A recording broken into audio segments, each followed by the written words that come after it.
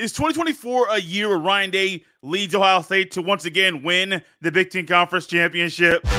You are Locked On Buckeyes, your daily podcast on the Ohio State Buckeyes. Part of the Locked On Podcast Network. Your team every day. Football is king at Ohio State. Unfortunately, they haven't been the king of the conference for quite some time. However, I have a good feeling about what the Buckeyes might do in the Big Ten Conference in 2024. Welcome in, Buckeye fans, to a Thursday edition of Locked on Buckeyes. Here on Thursday, February 15th in the year 2024. I'm your host, Jay Stephens, also the host of the Jay Stephens Podcast. And today's episode is brought to you by FanDuel. Make every moment more. New customers join today, and you'll get $150 in bonus bets if your first bet of $5 or more wins. Simply visit fanduel.com slash locked on to get started. Football is king in Columbus. That's one thing that is no surprise to you. It's no surprise to me. And new athletic director Ross Bjork, who is going to take over when Gene Smith retires, he said in his introductory press conference, football is king. It's the truth. Unfortunately, the Buckeyes have not been the kings of the Big Ten for quite some time. But I got a good feeling that this could be a year for Ryan Day where the Buckeyes once again regain control of the conference and win the Big Ten Conference Championship game. And this year is going to be a whole lot harder to do that. And what the in the way that Ryan Day has set things up so far during the offseason, things are looking up and bright for the Buckeye football team. Think about this football team and what Ryan Day has done so far. And the question that you see there on the graphic there on the YouTube is Is 2024 Ryan Day's year? That's a big question. There's a lot that goes into that. There are 12 regular season games, there is a conference championship game, and then there are playoff games that will ultimately let us know if 2024 is going to be Ryan Day's year. It could be a good year for Day, it could be a bad year for Day. Ultimately, I'm thinking it's going to be more on the good side for Ryan Day, and it all starts by winning the Big Ten Conference Championship for the first time since 2020. That doesn't even sound right. That doesn't sit well with me, and I guarantee it doesn't sit well with you either. The way that Ohio State has been constructed and the talent that's been on the team and the games that they have played, you would have expected them to win. You would have expected things to be a little bit different you would have expected, hey, we're good enough to beat Notre Dame on the road. That probably means you're good enough to win the Big Ten Conference Championship. Nah, nah, nah. Got to get there to win it and haven't been there since 2020. This is one of those years, man, for Ryan Day. You can't mess around. Not at all. Especially when you take into account the teams that are now in the Big Ten Conference starting in 2024. It wouldn't shock me if down the road there are more teams that are added to the Big Ten Conference. Maybe not for this upcoming season, but maybe for 2025 or 2026, 2027, 2028, and beyond. There could be a realistic opportunity for two, four, maybe six more teams to come to the conference before the powers that be in the sport decide, hey, this is getting out of hand how about we break off from the NC2A and do our own thing? It could happen. I mean, they've been doing their own thing for years. NCAA doesn't really run the sport. However, they do hand down the punishment, which still is very, very odd. However, that's the way that has going for, that is going for the sport. You add in USC, UCLA, Oregon, and Washington. Now, UCLA is not expected to be any type of power in the upcoming season.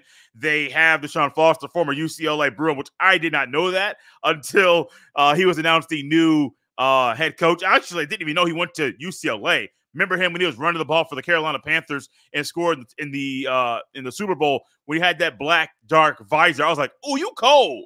You a cold back?" They had no idea that was the same Deshaun Foster when he was announced the head coach of the UCLA Bruins. UCLA's coming in, not expected to be a factor. Washington has a new coach. Kalen DeBoer's gone to Alabama. They have a new quarterback because Michael Penix Jr. eligibility eligibility is up. He has gone to the NFL. Oregon and Dan Lanning and um oh my goodness, I can't think of the coach's name. Lincoln Riley and USC. Those are two teams that Ohio State has to watch out for. every single year.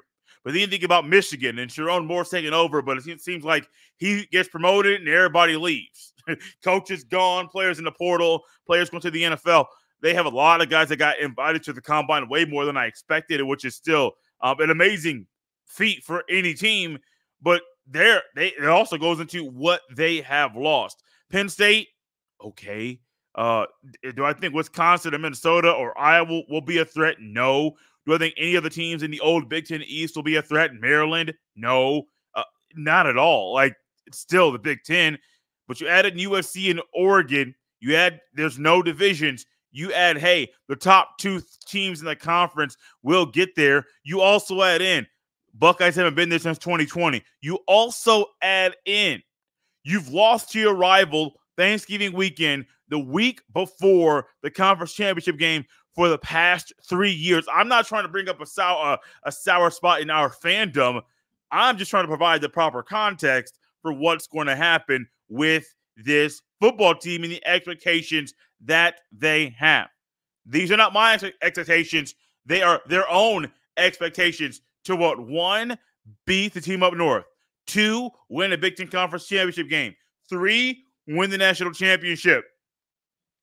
Well, the second, the third one, it can happen now since you don't have to win the conference to really get a shot, be a, a solid shot in the playoff. You can win, you can not play in the conference championship game and still get in the playoff. It's still very weird that we're moving to a 12 team playoff format, which they say we're moving to it. It hasn't been confirmed yet. They haven't really satisfied and figured out how they're going to do things with the Pac 12 no longer being the conference. Y'all, it's February 15th.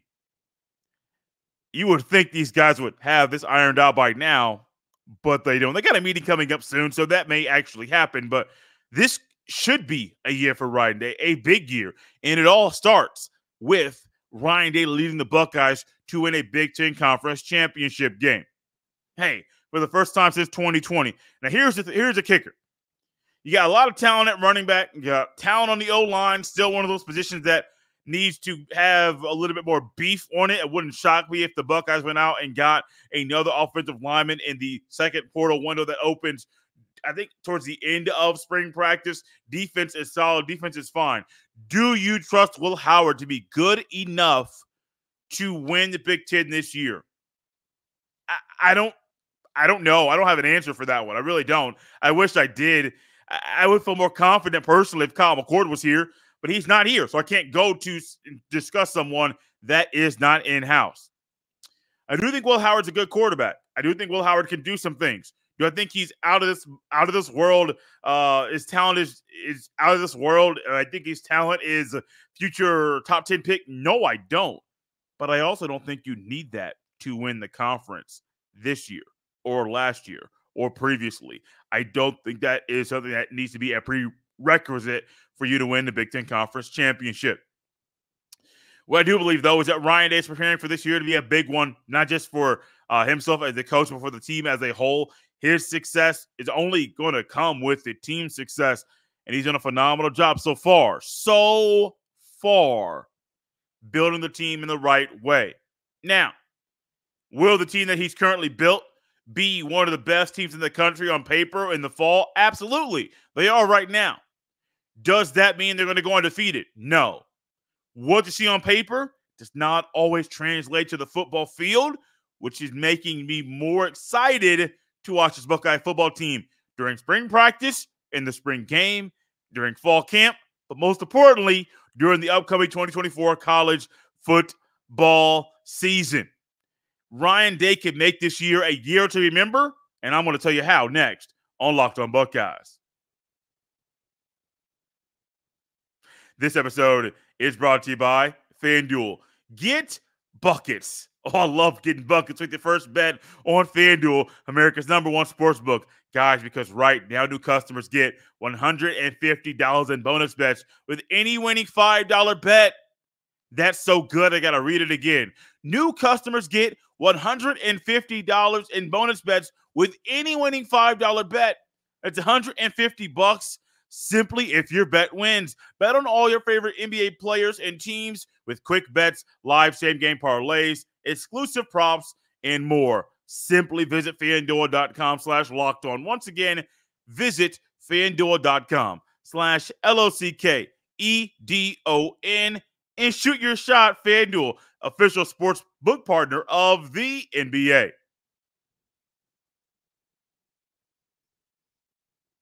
I know many of you are looking out there and trying to find ways to connect with the show in a deeper way. Well, here's a simple way for you to accomplish your goal. Simply text 618 excuse me, 614-587-7853. Once again, that is 614-587-7853. That is the number to join the Locked On Buckeye subtext. There is some news that came out about Chris Holtmann. He recently got fired. There is a show on your feed breaking down that eh, that firing. Well, the subtexters, they got that info sent right to their phone even before the firing happened. I hear something or I see something, I will relay that to you so you know about what is going on. It's, a simple way for you to connect with the show. Q and A's, news, notes, and analysis. All of that stuff is found right there. And when you sign up, there's a 14 day free trial. Simply text 614 587 7853 to sign up for the Locked on Buckeye subtext. One thing I want to sign up for is Ryan Day having a phenomenal and a career year in 2024. Absolutely. Yes, the Buckeyes winning makes my job easier. Absolutely. Doesn't mean my job is over, but it makes my job easier. I don't have to analyze and break down, hey, why did they lose here? Why did this player not do this? Why was he on the wrong shade? Why in the world did he have the wrong arm on this play? That stuff's going to happen every time. When you do it in a loss, sometimes it can be magnified and be a reason why things didn't go your way.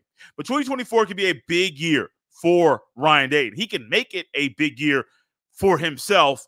He's done a phenomenal job of it so far, but he has to continue what he's doing.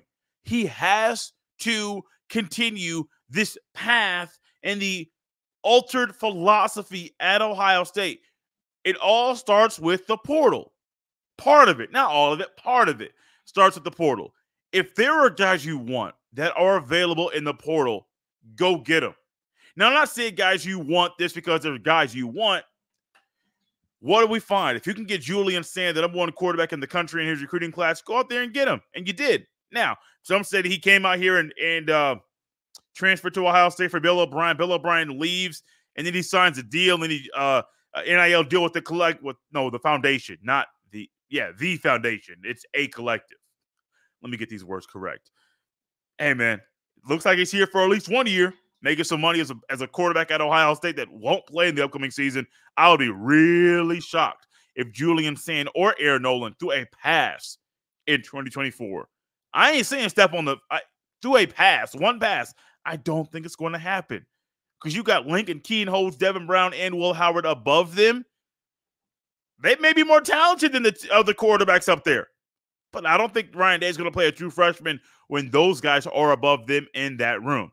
But a lot of this season is about Ryan Day. We look at the previous years at Ohio State. What have we seen by the Buckeyes?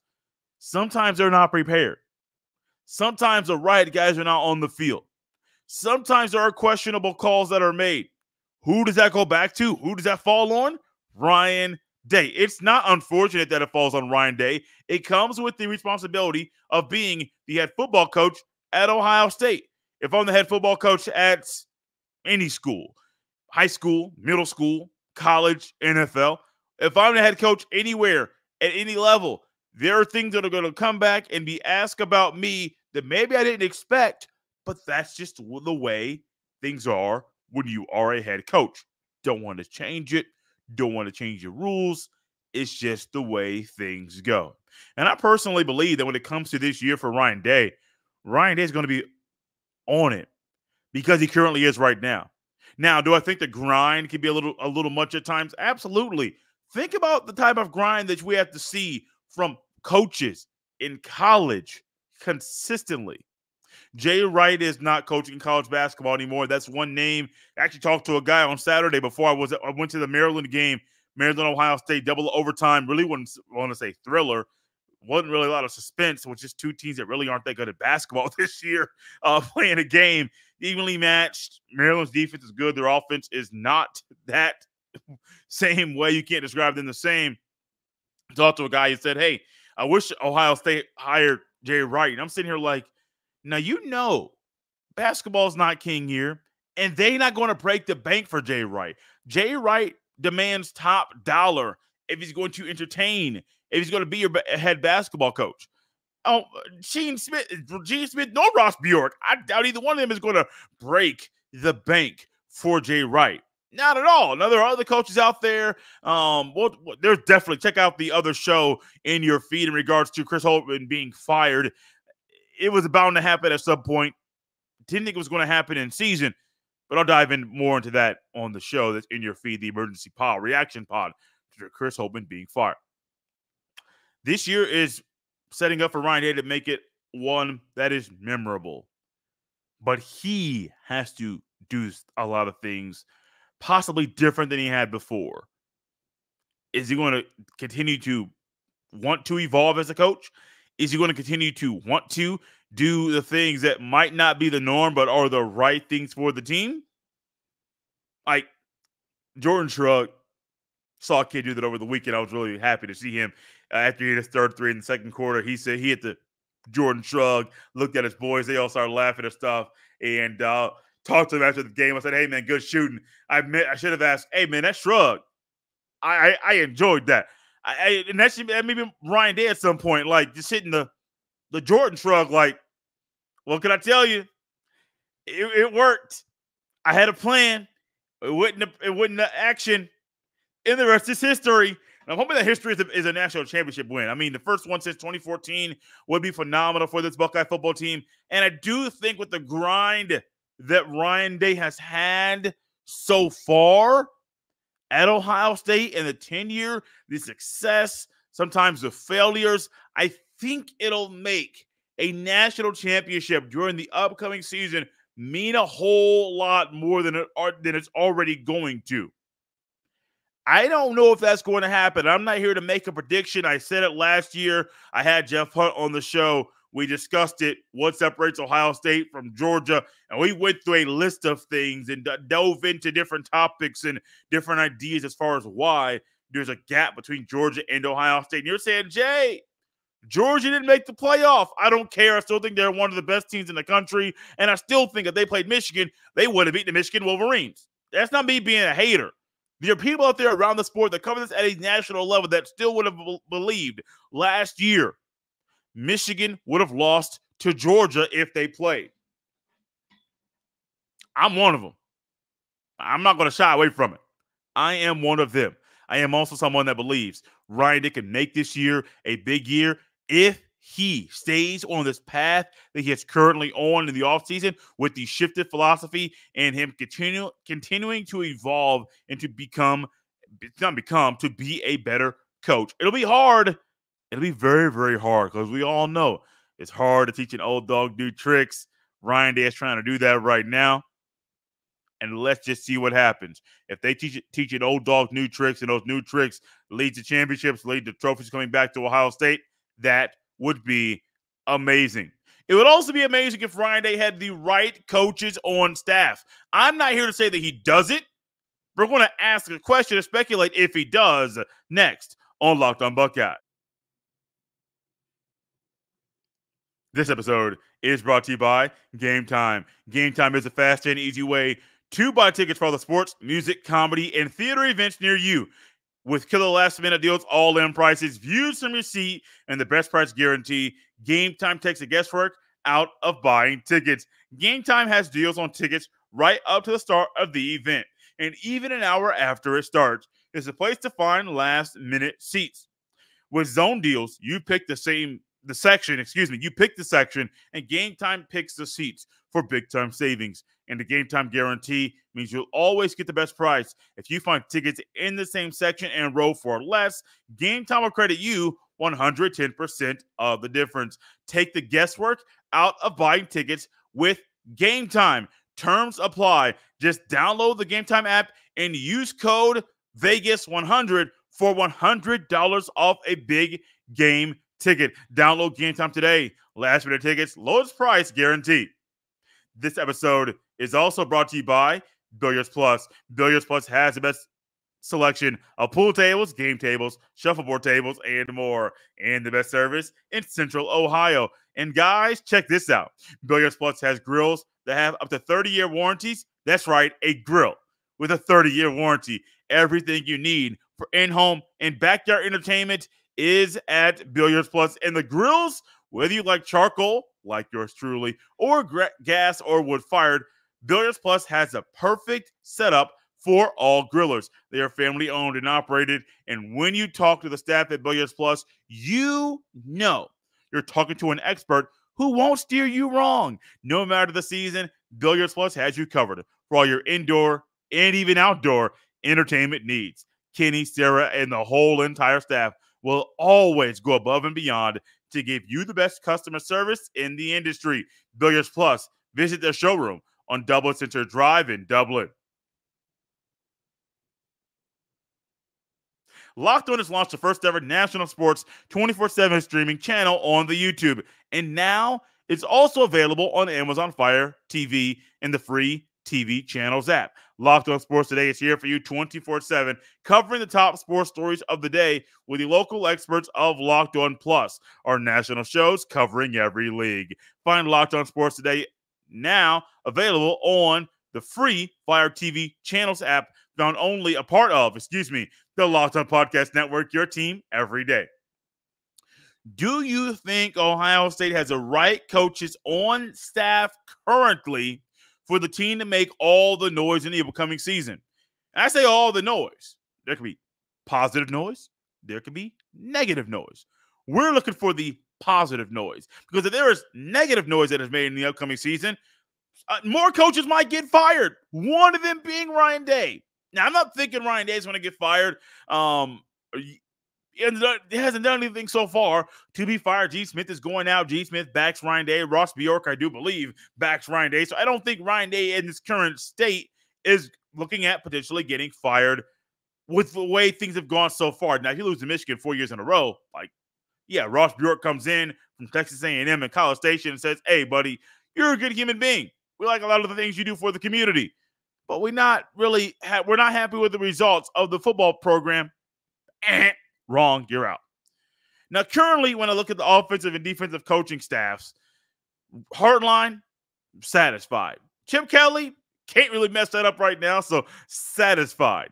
Uh, Justin Frye is one of them that has to, has to, has to show improvement with the players that he puts on the field because he could be up out of town too. Tony Alford's fine. Tony Alford's one of those coaches at Ohio State that we look at him, you're saying, well, what has he done? How has his unit performed? They've been hurt for two years in a row. TreVeyon Henderson, Miyan Williams, Evan Pryor, hurt to a point that a year ago against Michigan, a true freshman in Dallan Hayden got the start.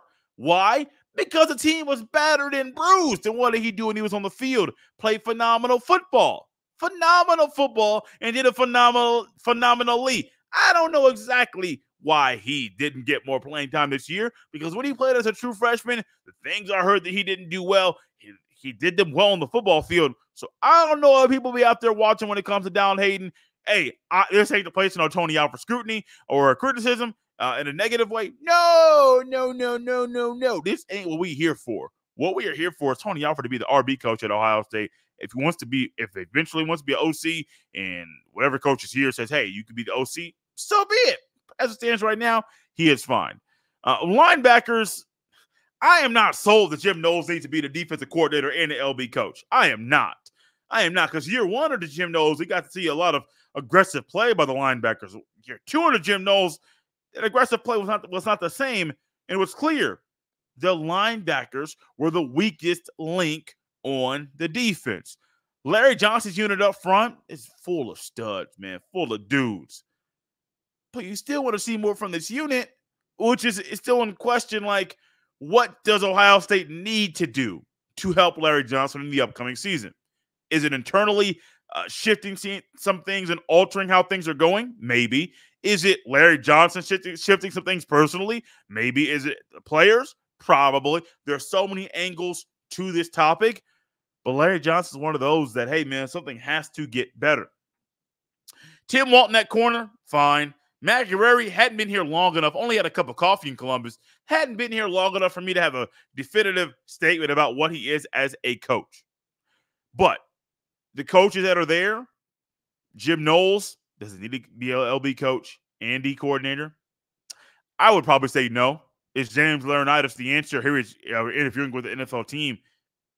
I don't know. Like there are so many things I don't know, and I have no problem saying I don't have the answer to that. I do have the answer to one thing though. Coaching staff put together pretty well. There's one spot left. I don't think I would use it for a special teams coordinator. That's possible. I think I would use it for defense. Bring in an established, well respected linebackers coach you let Chip Kelly run the offense and be QB coach, who is the quarterback. Is he run the leader of the offense? So that makes sense. Yeah, it would make sense for Jim Knowles to lead the linebackers, who is a leader of the defense. However, we need better results, buddy. And sometimes hiring somebody to relieve somebody of certain duties while they're coaching is a good great way for the team to be better in the upcoming season out of here on a Thursday. One more day left. Try to get our guy Brian Smith, Locked On recruiting analyst, back on the show tomorrow. Talk about Faheem Delane, uh, a player that is a safety. One, I think it's top 30 players in the country. I know for sure top 50. And the Buckeyes are favored to get a commitment from this young man. We're going to learn all about him later on, maybe tomorrow, with Brian Smith. You can follow me on X at jstevens07. You can send all of your emails to jstevens317 at gmail.com. This has been Locked on Buckeyes here on a Thursday. We'll see you next time.